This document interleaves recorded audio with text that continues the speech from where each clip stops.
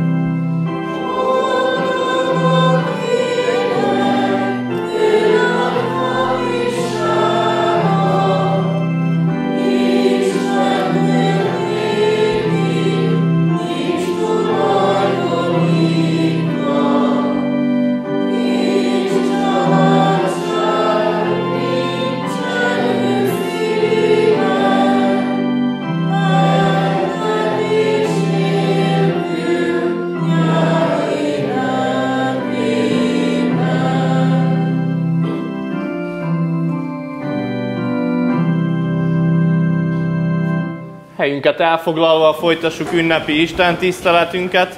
Énekeljük a 32. már megkezdett Zsoltárnak a második és a negyedik verszakát. 32. Zsoltár második és negyedik verszakát énekeljük.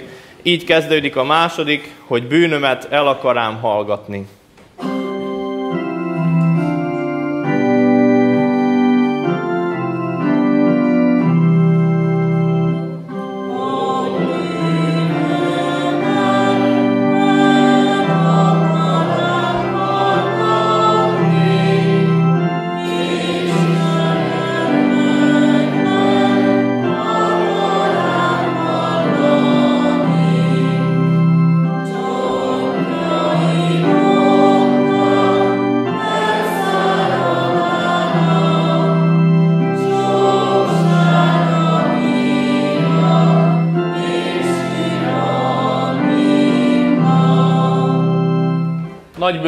Ünnepi Isten tiszteletünk megáldása és megszentelése jöjjön az Úrtól, aki teremtett, megtart és bölcsen igazgat mindent. Gyertek, imádkozzunk!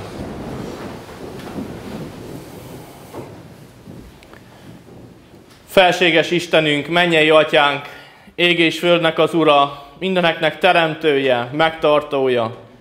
Te előtted borulunk le, aki igazgatod az órákat, a perceket, aki kegyelmedből egy újabb napot, és az egyházi évben egy újabb időszakot adsz nekünk, egy időszakot, amely jó lehet arra, hogy vele találkozzunk, egy időszakot, amelyet kihasználhatunk bölcsen a saját magunk lelki épülésére.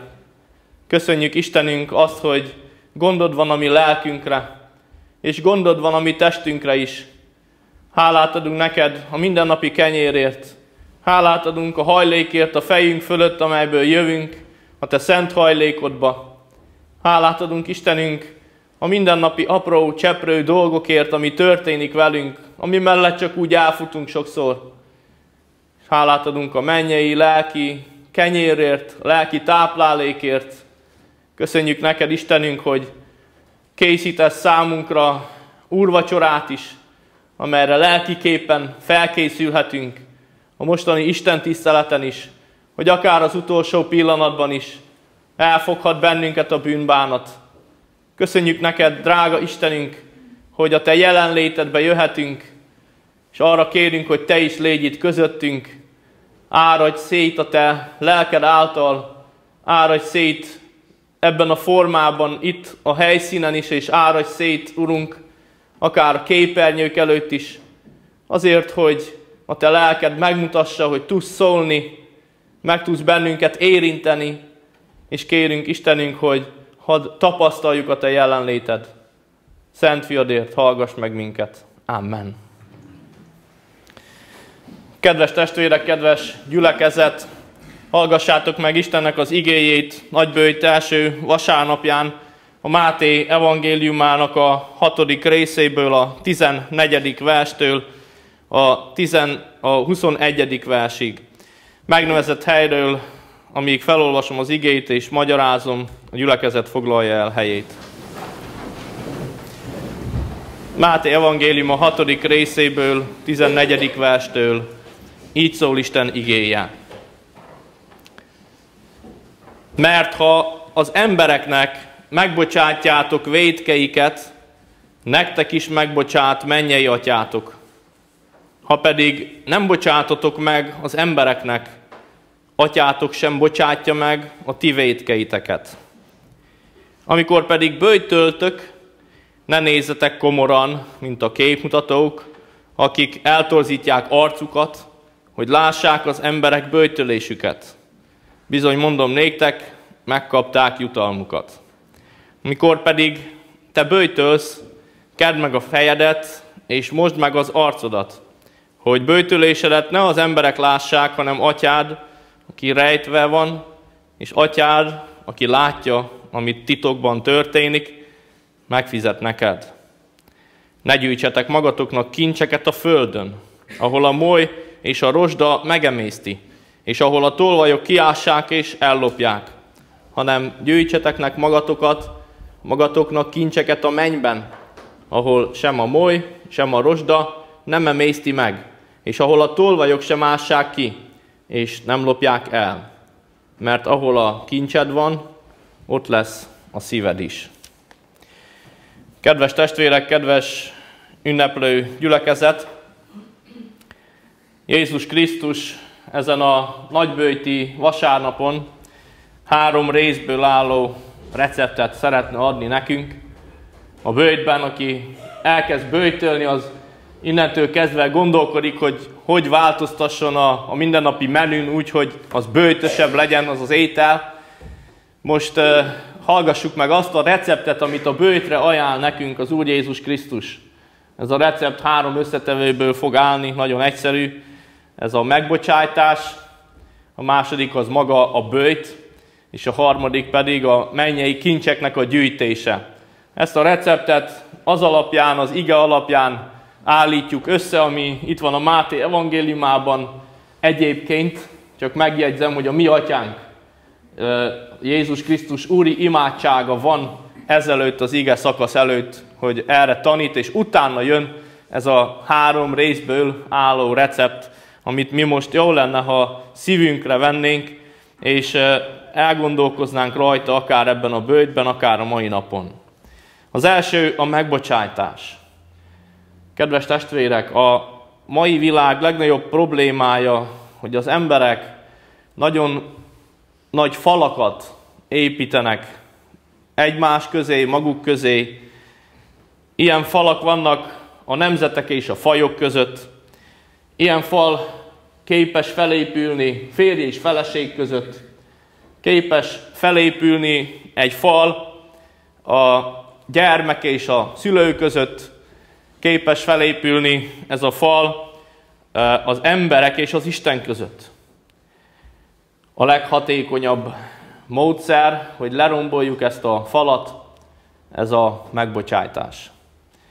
És kezdjük a legnagyobbal, emeljük ki az ember és Isten közötti falat. Ez a fal Isten és ember között a bűnökből épül fel.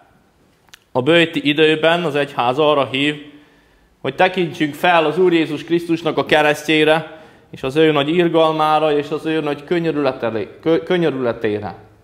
És arra hív bennünket az egyház a bőti időszakban, hogy járuljunk oda a bőtben az Úr Jézus Krisztus keresztje alá, hogy oda vigyük a mi bűneinket, azt a falat, hogy ő rombolja le, és szabad legyen az út az Isten és az ember között. És megízlelhetjük, saját magunkon tapasztalhatjuk, az Úr Istennek a bocsánatát, annak a annak a, az ő szeretetének az édes ízét tapasztalhatjuk, hogyha lerombolódik ez a fal, és azáltal, hogy megbocsát nekünk az Isten, már a mi atyánkban is, ahogy mondtam, előzőleg a mi atyánk van, arra buzdít bennünket, hogy mi is bocsássunk meg másoknak. Ez a kettő együtt jár. Bocsássunk meg azoknak, akik megsértettek minket, keressük azoknak a bocsánatát, akiket mi sértettünk meg.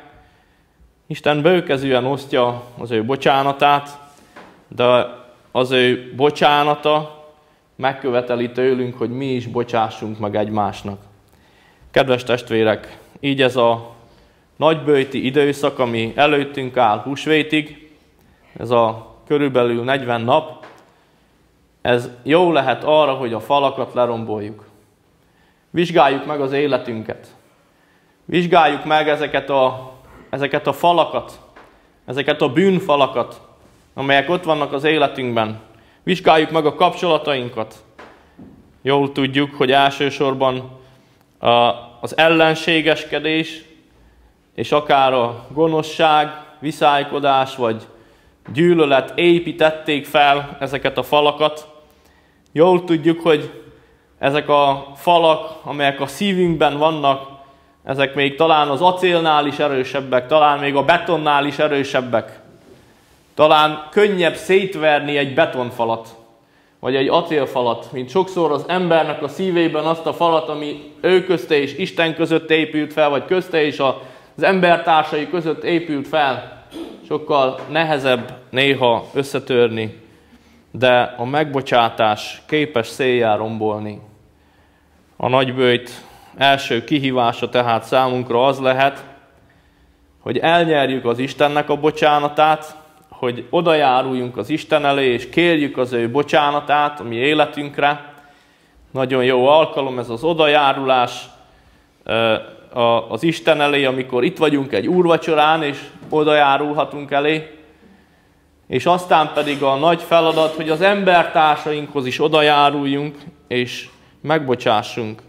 Kérdés, hogy mit teszünk azért, hogy mire el fog jönni az a nagy péntek, amikor arra emlékezünk, hogy ott vagyunk az Úr Jézus Krisztus keresztje alatt, és kérjük, könyörögjük az Istennek a bocsánatát, hogy mire odáig elérünk így térben és időben, ebben a bőti időszakban, mi mit fogunk tenni azért, hogy embereknek megbocsássunk, vagy hogy emberek bocsássanak meg nekünk. Mert Isten megbocsát, bizonyos.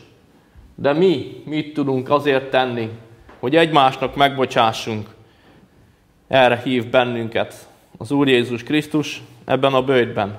Ez a receptnek, a nagybőjti receptnek az egyik összetevője. A másik maga a bőjt. A mi úrunk ezt ajánlja nekünk, és azt mondja, amikor te bőjtölsz, kend meg a fejedet, most meg az arcodat, hogy bőjtölésedet ne az emberek lássák, hanem atyád, aki rejtve van, és atyád, aki látja, ami titokban történik, megfizet neked. Kedves testvérek, sok olyan indok van, ami a bőtölést igazolja, a legfőbb azonban a szeretet. A szeretet volt az ősegyház életében, még a Krisztus utáni első századokban, a, a szeretet volt a, a mozgató rugója a bőjtnek, a bőjtölés első célja.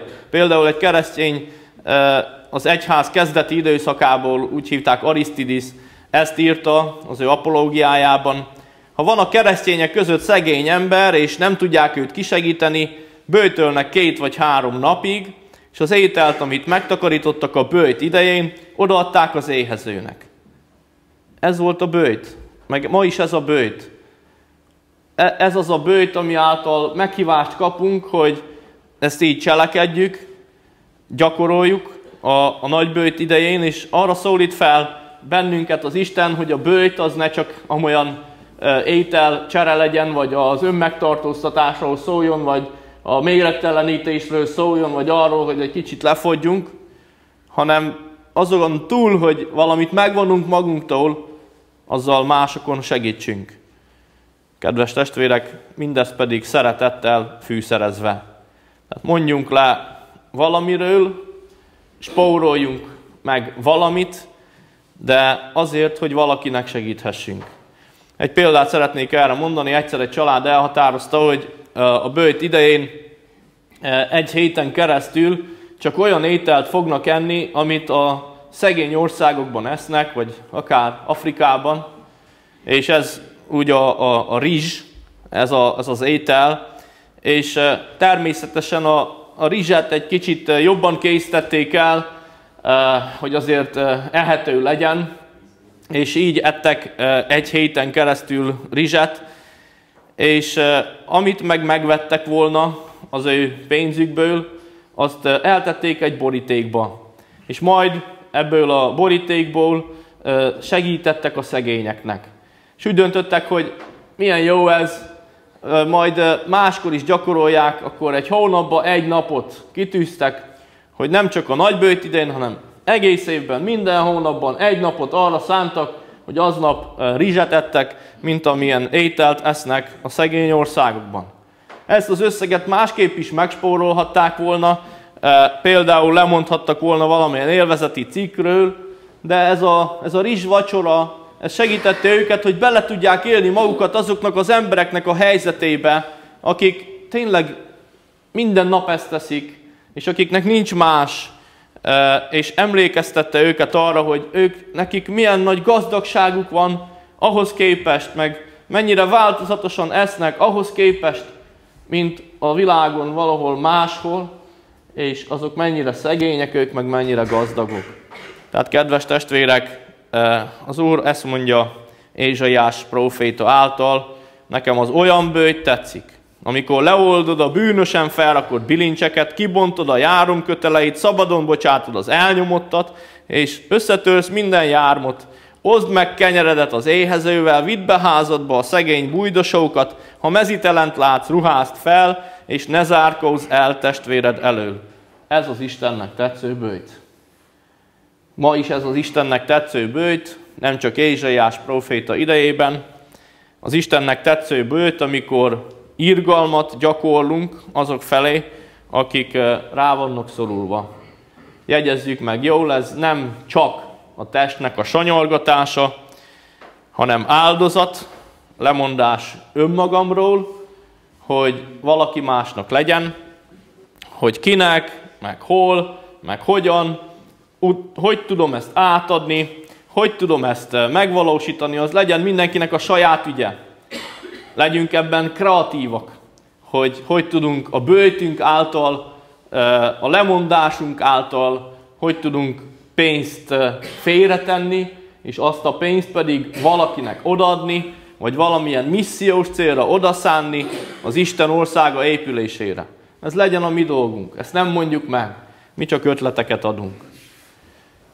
És a megbocsátás és a bőjt mellett Krisztus nagybőjtre vonatkozó receptjének harmadik összetevője pedig az, amiről a következő szavakkal beszél Jézus, ne gyűjtsetek magatoknak kincseket a földön, ahol a moly és a rozsda megemészti, és ahol a tolvajok kiássák és ellopják, hanem gyűjtsetek magatoknak kincseket a mennyben, ahol sem a moly, sem a rozsda nem emészti meg, és ahol a tolvajok sem ássák ki, és nem lopják el.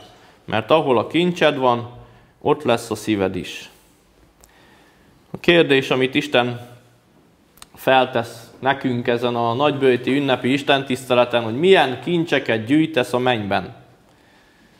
Mondhatod azt, majd gyűjtöm, amikor ott leszek. Nem. Itt ezen a földön, a földi élet alatt mondja nekünk Isten, hogy gyűjtsetek magatoknak kincseket a mennyben. Isten azt akarja mondani nekünk, hogy éljünk egy teljes életet, éljünk minden jóval, amit itt szán az Isten erre a földi életre szán, de ne felejtkezzünk el arról, hogy nekünk nem csak ide kell gyűjteni, hanem nekünk oda átra is gyűjteni kell.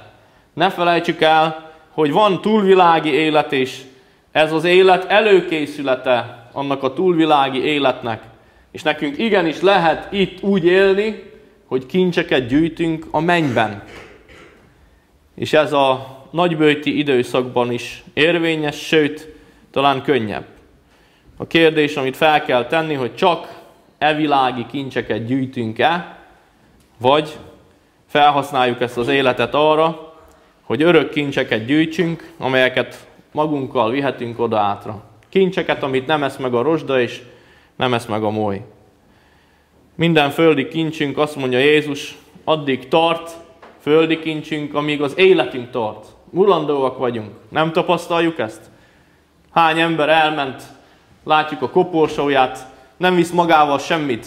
Semmit nem tud az ember magával vinni ebből a földi életből. Semmilyen kincset, bármennyit is gyűjtött össze, minden kár és szemét megsemmisül, de az egyházban halljuk azt a csodálatos örömhírt, hogy igen, kedves testvérek, lehet olyan kincseket gyűjteni, ami megy velünk. Lehet olyan kincseket gyűjteni, amit nem esz meg a moly és nem esz meg a rozsda. Mik ezek a kincsek? Létezik egy olyan kincs, hogy szeretet. Ha emberek vagy angyalok nyelvén szólok is, szeretet pedig nincs bennem, olyanná lettem, mint az engőért vagy pengő cimballom, és ha szétoztom az egész vagyonomat és testem tűzhalára szánom, szeretet pedig nincs bennem, semmi hasznom abból, emlékezzünk a, a szeretet himnusznak, az 1 Korintus 13-nak a szavaira. Hallottátok már azt, hogy gazdagnak lenni a szeretetben? Szegények vagy gazdagok vagyunk a szeretetben. A szeretet az életben úgy, a mindennapokban, ami kincsünk vagy nem. Gyűjtsük-e a szeretet kincset? amit magunkkal tudunk vinni oda-átra? Ez a kérdés. Hogy mennyire vagyunk körbevéve ezzel a szeretettel, az az igazi kincs. Szeretni Istent, és szeretni az embereket, ahogy a tíz parancsolat is leírja. A tíz parancsolat gyönyörűen bemutatja, hogy lehet szeretni Istent, és hogy lehet szeretni, hogy kell szeretni az embereket. Ez a kettő, a legfontosabb. És ez nem múlik el. Ez az örökké valóságra szól, és megy velünk az örökké valóságba. Kérdés, hogy így van-e ez? Mit érzünk ebből? Mennyit érzünk ebből? Ebből a bizonyos földi szeretetből? Mert ehhez mi is hozzátehetünk. Létezik egy olyan kincs, hogy megbocsátás, erről már szóltam az előbb, hogy a legerősebb falakat mi emberek a bűnnel építsük fel, és a félelem és a gyűlölet, az előítéletek építik ezeket a falakat, és egyetlen módja ennek a megbocsájtás. Tehát ide hoznám még egyszer, emlékeztetnék még egyszer, ez is egy kincs, gazdagnak lenni a megbocsátásban. Ez az igazi gazdagság. Amikor tudom ezt gyakorolni a mindennapi életben, a megbocsájtást, tapasztalja ezt férj és feleség, tapasztalja ezt a gyermekünk, tapasztalják ezt a munkatársaink, Tapasztaljuk ezt az egyházban, egymás között, a gyülekezetben? Vagy megharagszunk, és akkor az egyik már egész életében biztos, hogy nem jön templomba, a másik meg nyugodtan ott fog ülni a templompadban. A megbocsátást gyakorolni kell, gazdagnak kell lenni a megbocsátásban is. Ez egy olyan kincs, amit szintén magunkkal vihetünk. Létezik egy olyan kincs, hogy a mi Úrunk üdvözítő Jézus Krisztusunknak az ismerete az pedig az örök élet, mondja a János 17, hogy ismernek téged, az egyedül igaz Istent, és akit elküldtél, a Jézus Krisztust. Jézus Krisztus ismerete. A bőjt olyan idő, amikor a világ egyetem legfontosabb személyéhez, az Úr Jézus Krisztushoz tudunk közelebb kerülni. Úgy tudunk közelebb kerülni hozzá, hogy többet imádkozunk. Úgy tudunk közelebb kerülni, hogy hogy minden nap a Szentírást olvassuk. Úgy tudunk közelebb kerülni, hogy minden nap keressük a szolgálati lehetőségeket, hogy mit tudunk mit tenni az Isten dicsőségére. Életünket sok lényegtelen dolog veszi körbe. Ebben a bőti időszakban ráfigyelhetünk ezekre. Sok lényegtelen dolog belevisz bennünket a túlhajszoltságba, depresszióba, idegösszeroppanásba tud belevinni hosszú távon az életnek a sok lényegtelen dolga, és jó ez a bőti időszak, amikor kicsit megállhatunk, a, amikor ezekből néhány felesleges dolgot kirakhatunk az életünkből, mert rájövünk, hogy ezek nem is annyira fontosak. És csak a csendben, csak a bőjtben, csak akkor, amikor mindent félreteszünk, vagy akár a testünket megsanyargatjuk, valahogy jobban előjönnek ezek a dolgok, hogy mik a lényeges és mik a lényegtelen dolgok, és van időnk rá, minőségi időt tudunk szánni egymásra, meg Istenre, és ez a bőti idő nagyon jó, hogy közelebb kerüljünk a mi megváltónkhoz, az Úr Jézus Krisztushoz, hogy személyesen találkozzunk vele, személyes kapcsolatunk elmélyüljön. Nagyon sok ilyen jó iromány van ezzel kapcsolatban az interneten is, újságokban, nagyon jó bőti sorozatok jelentek meg, akár csak a Tesó blognak a sorozata. Ezek mind-mind segítenek, hogy közelebb kerüljünk a mi Úr Jézus Krisztusunkhoz. Használjuk ki ezeket, kedves testvéreim. Használjuk ki ezt a húsvét előtt álló majdnem 40 napot, hogy Jézus Krisztussal közelebb, személyesebb kapcsolatba kerüljünk. És ott van még erre az imádság, ez is egy kincs, egy kiváltság. Beszélhetünk Istennel bármikor. Egyszer valaki azt mondta, a főnököt nem nagyon lehet látni, nem nagyon lehet elérni, nem foglalkozik ő a mi ügyeinkkel. Hát nekünk olyan főnökünk van, akit a nap 24 órájában meg lehet keresni.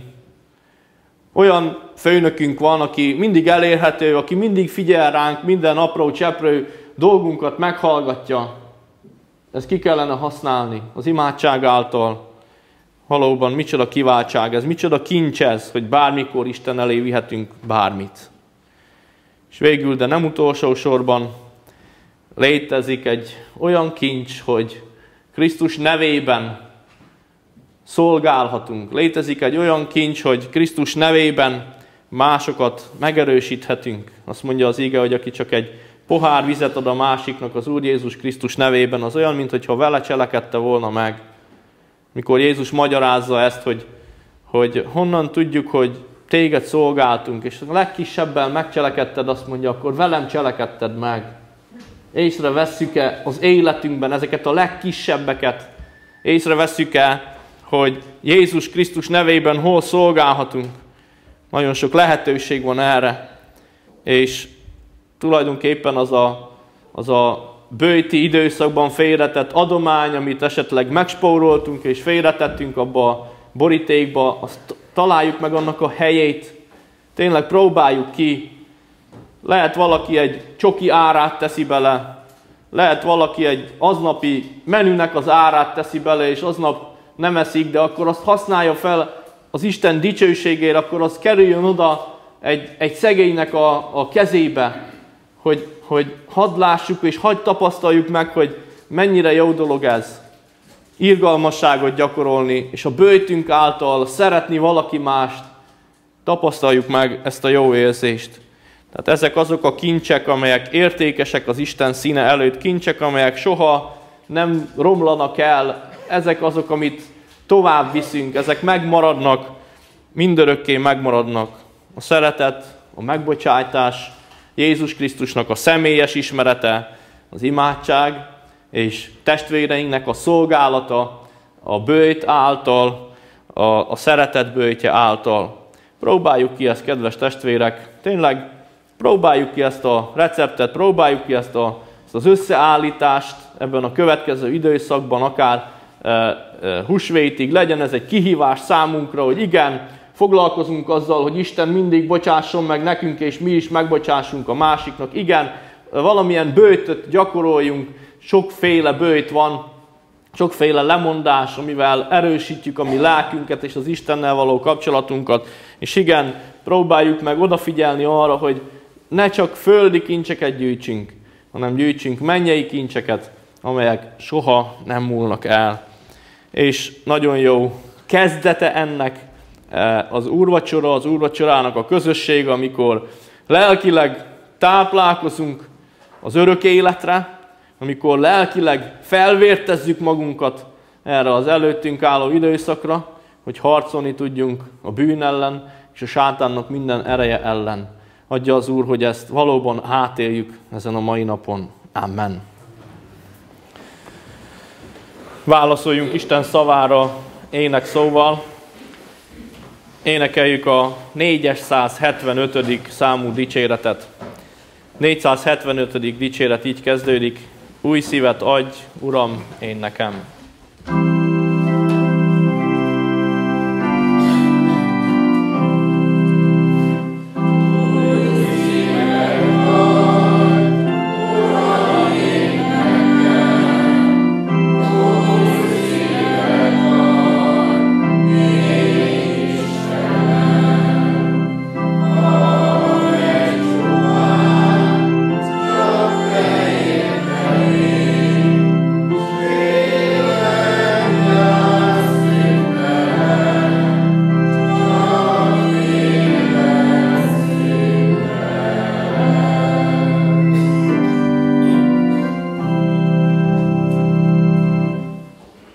Istenünk, mennyei édesatyánk az Úr Jézus Krisztusban.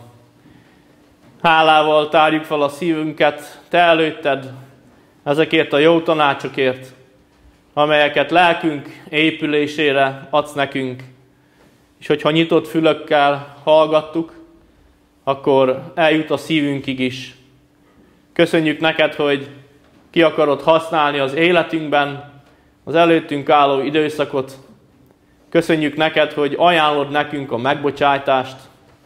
Istenünk, te látod, hogy hány összetört kapcsolatunk van. Te látod, Istenünk, hogy akár azokkal az emberekkel, akik szinte a legközelebb állnak hozzánk, mi a rendezni valunk. Te látod, hogy milyen falak épültek fel közöttünk, és arra kérünk, segíts nekünk ezt lerombolni. Olyan jó nekünk átélni, a te megbocsájtásodat. Olyan jó nekünk a bőrünkön érezni, hogy te megbocsátod a mi védkeinket, amit akarva vagy akaratlanul követtünk el. Hát olyan jó lenne látni, tapasztalni, érezni is, hogy egymásnak is meg tudunk bocsájtani. Istenünk, te látod, hogy milyen nagy szükségünk van erre. A gyülekezetben, a munkahelyünkön, a szomszédunkkal, a családban, a testvéreinkkel, a rokonainkkal. Köszönjük neked, Istenünk, hogy ez egy olyan feladat, amit ha teljesítünk, az a mi javunkra válik. És különben is, Urunk, hogy tudunk úgy odajárulni Te eléd, hogyha ezt nem gyakoroljuk. És köszönjük neked, hogy adod a bőjtöt, amit nem azért adsz, hogy csak a testünket megsanyargassuk, vagy méregtelenítsünk, hanem azért adod nekünk a, a drága bőjtöt, hogy lelkileg épüljünk, hogy közelebb kerüljünk hozzád, hogy sikerüljön a mennyei kincseket gyűjtögetni, és hogyha ellankadtunk a, a mennyei kincsek gyűjtögetésében, akkor segíts nekünk, Urunk, ebben az időszakban, hogy valamire újra rátaláljunk, akár az imádságra, akár a veled való napi kapcsolatra, a Szentírás olvasására, rátaláljunk Istenünk a szolgálatokra, és kérünk, hogy vezess ebben bennünket. Erősíts meg az úrvacsora által, hogy mindezeket meg tudjuk cselekedni. Kérünk Istenünk, hogy így légy velünk, maradj velünk továbbra is ebben a közösségben, és áld és szenteld meg a következő perceket is. Amen. Most pedig vigyük oda Isten elé csendes imában, ami saját kéréseinket és mondjuk el néhány másodpercben Istennek mindezeket.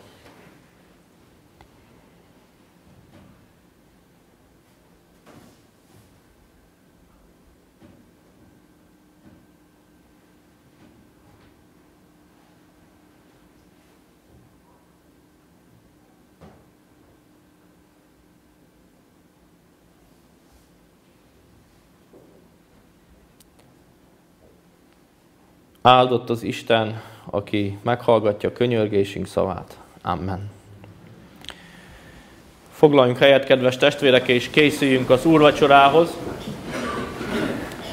Úrvacsorára készülve énekeljük a 264. számú dicséretet, a 264. számú dicséretet énekeljük, amely így kezdődik, lelkem siet hozzád menni.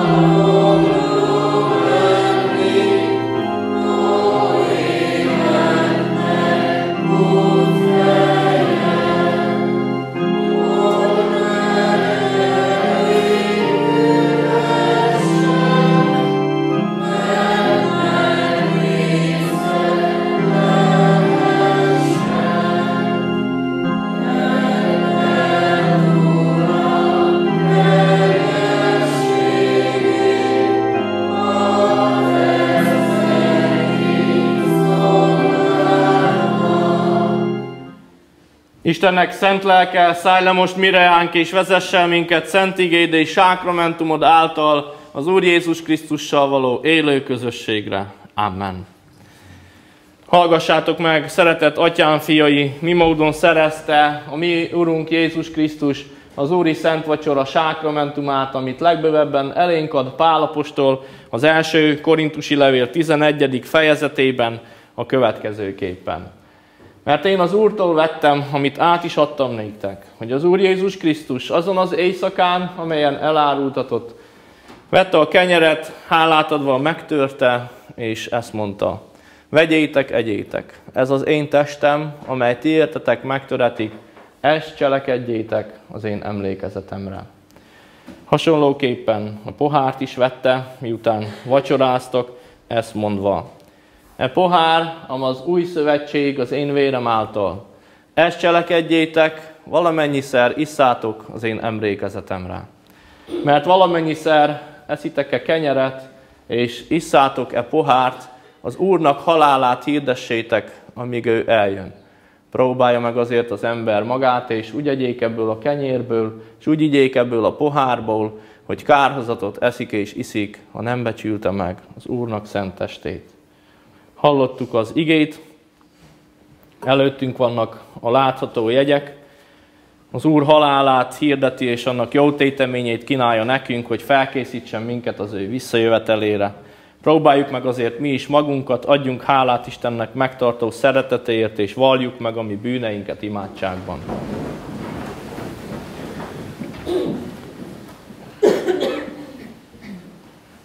Könyörülő Istenünk, Köszönjük neked, hogy te oda engedsz magad elé. Köszönjük neked, hogy lábaidhoz borulhatunk, és a te kereszted alá hozhatjuk a mi bűneinket. Látod, Istenünk, hogy milyen nagy falat építettünk ezekből a kicsi, meg nagy bűnökből. Látod, Istenünk, hogy vágyunk a megbocsájtásra, vágyunk arra, hogy összetörjön ez a fal, és mi szabadon mehessünk oda hozzád. Vágyunk Istenünk arra, hogy ne válasszon el semmi minket tőled. Köszönjük neked, hogy te felajánlod ezt. Köszönjük, hogy az a tövis koronás véres arc ránk néz, szelíd szemével, és hív bennünket, és vár bennünket, hogy jöjjünk és rakjuk le a mi terheinket. Mindazt, amivel megbántottunk téged, mi is szeget verünk, Urunk, a te kezedbe, akkor, amikor védkezünk, és te látod a mi védkeinket, hogy napról napra csak szaporítjuk annak a számát, hogy nem tudunk engedelmesek lenni, hogy nem tudunk az igének engedelmeskedni, hogy nem tudunk sokszor megállni a kísértésben és a bűnben.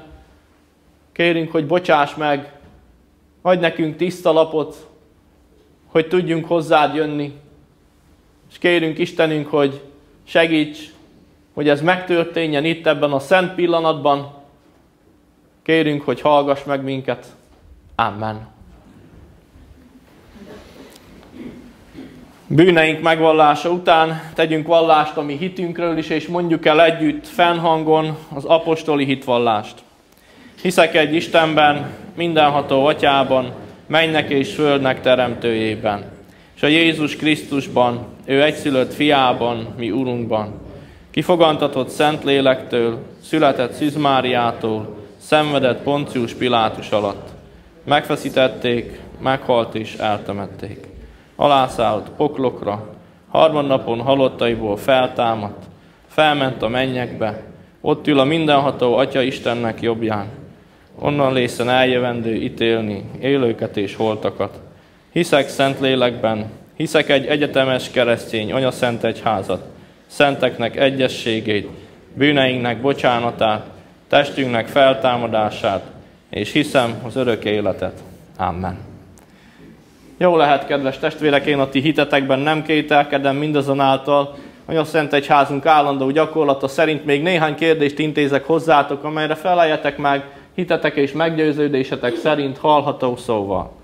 Azt kérdezem először is, hiszitek-e, hogy az Istentől igazságban, szentségben és ártatlanságban teremtett első embernek esete folytán, ti magatok is mindenestől fogva a gyarlók, esendők és bűnösök vagytok, kik saját erőtökből Isten ítélőszéke előtt meg nem állhattok, sőt büntetést, halált és kárhozatot érdemeltek. Másodszor hiszitek el, hogy Isten a bűnös emberen megkönyörülve az ő szent fiát, az Úr Jézus Krisztus ti testben elbocsátotta, kinek egyszeri és tökéletes áldozatával a bűnnek a hatalmát és a kárhozatnak az erejét elvette, és titeket ingyen kegyelemből Jézus vérének érdeméért hitáltal megigazít. Harmadszor, hiszitek el, hogy Isten, aki feltámasztotta az Úr Jézus Krisztust, általa minket is feltámaszt a halálból, és halandó testünket halhatatlanságba öltöztetve, által visz az ő örök mennyei dicsőségébe. Mindezeket bizonyal elhívén, ígéritek-e, fogadjátok-e, hogy ti e kegyelemért hálából egész életeteket az Úrnak szentelitek, és már a jelen való világban, mint az ő megváltottjai, az ő dicsőségére igyekeztek élni. Én is mindezeket veletek együtt. Hiszem és vallom, ígérem és fogadom.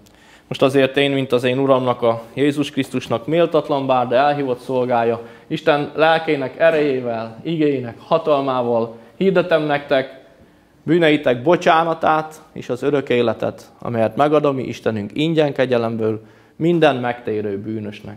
Amen. Most pedig, kedves testvérek, foglaljunk helyet és járuljunk a szent asztalhoz alázatos szívvel és szép rendel a mozgó úrvacsora rendje szerint.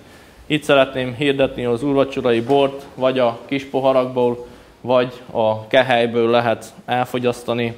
Az úrvacsorát a férfiak kezdik. Úrvacsora vétele alatt énekeljük a 267. számú dicséretünket. 267. dicsérettel kezdjük az úrvacsorát. Így kezdődik a 267. számú dicséret. Örülj szívem, vígagy lelkem.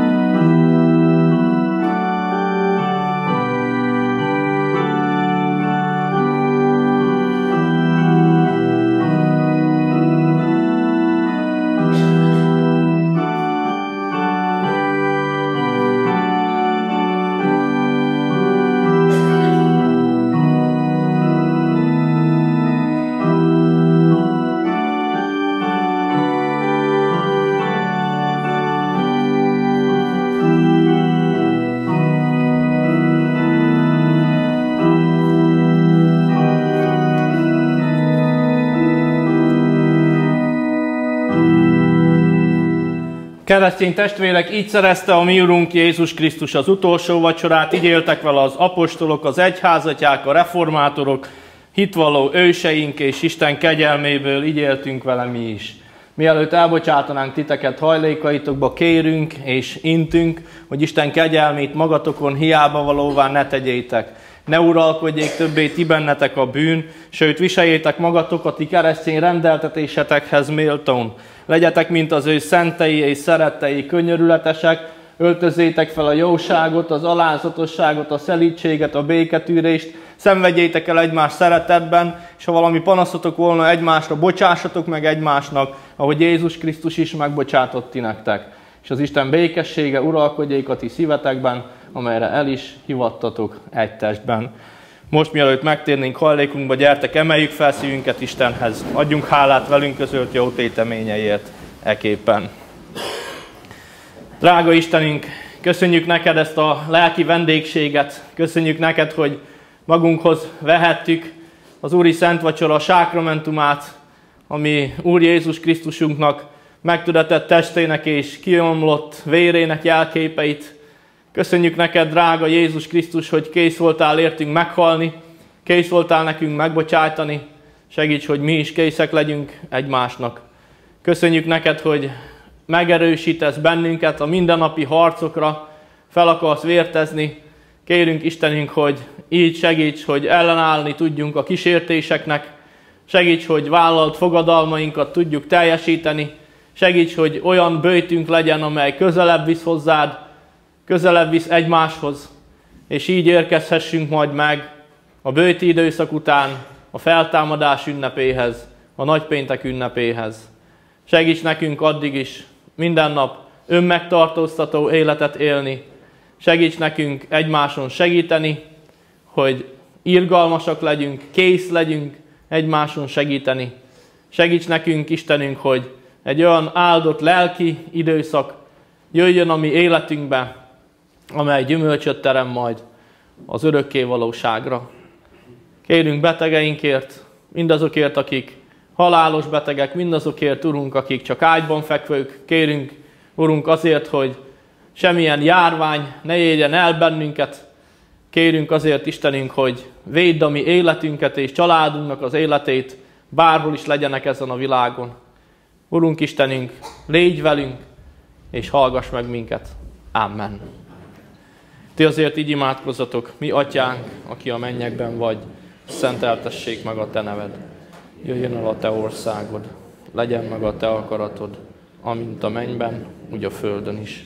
Mindennapi kenyerünket add meg nékünk ma, és bocsáss meg a mi védkeinket, miképpen mi is megbocsátunk az ellenünk védkezőknek, és ne vigy minket kísértésbe, de szabadíts meg minket a gonosztól, mert tiéd az ország, a hatalom és a dicsőség mindörökké. Amen. Fennállva énekeljük az áldásra készülve a hitvalló énekünket.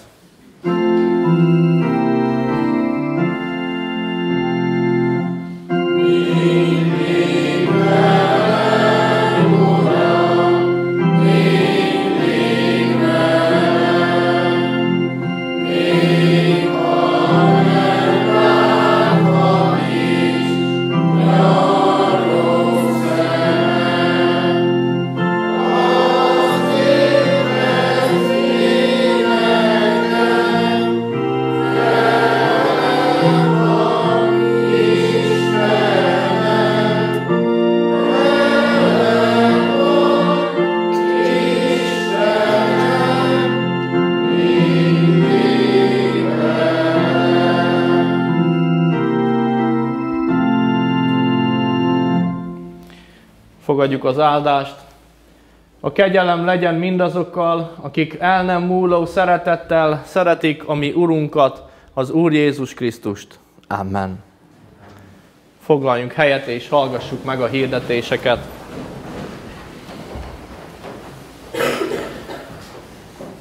Kedves testvérek, hirdetem az adakozást. Az elmúlt héten Isten dicsőségére adakozott özvegy Pallai Ferencné 200 grivenyt, a persejpénz az elmúlt héten 1982 griveny és 1000 forint volt. Az úrvacsorai jegyeket, a kenyeret és a bort Petrusinec István és családja adományozta Isten dicsőségére. Isten gazdag áldása legyen és maradjon az adakozó testvéreknek az életén. Kedves testvérek, hirdetem az alkalmainkat. A mai napon még a férfi órát, az Isten tisztelet után, amelyre vár, várjuk a férfi és akár a fiú testvéreket is, ahol még úgy ebédig a férfiak Isten igéje mellett vannak, és akár a mai Isten tisztelet gondolatait viszik tovább, akár napi igét, vagy bármi más olyan lelki dolgot, amivel készülnek. Hirdetem, hogy Biblióra alkalma van 13 óra 30 perctől, szintén a parókián, oda is mindenféle korosztályból, mindenféle nemből várjuk a kedves testvéreket, hogy ott legyenek és tudjanak elmélyülni Isten igéje mellett. Szeretném hirdetni a hétközi Isten tiszteletnek az alkalmát, a csütörtöki Isten tiszteletet a szokásos időben, csütörtökön 6 órai kezdettel a gyülekezeti terembe várjuk a kedves testvéreket, illetve szeretném hirdetni, hogy a hittanórák a szokásos rendben és időben lesznek megtartva a következő héten. Az első osztálynak kedden 12.30-kor, a másodiknak 13.30-kor, a harmadiknak 14.30-kor, a negyediknek 15.30-kor, mindez kedden és 16 óra 30 perctől pedig a 8.-9. osztály bibliaismeret órája, csütörtökön 2 órától az 5. 6. osztály, csütörtökön 3-tól a 7. osztály, illetve 8-9 osztály KT órája, az pedig szombaton. Szeretném hirdetni azt, hogy a házas körre várjuk a kedves házas párokat, illetve pár nélkül is lehet jönni. Szerdán este 18 óra 30 perces kezdettel tartjuk a következő házaskört, és az Elmaradt Filmklubot fogjuk bepótolni. Egy nagyon jó filmet fogunk megnézni, érdemes eljönni, és akár ebből is tanulni. Az a címe, hogy Meddig köt az eskü, tehát egy keresztény filmet fogunk megnézni. Szeretném hirdetni a közös biblióra lehetőségét.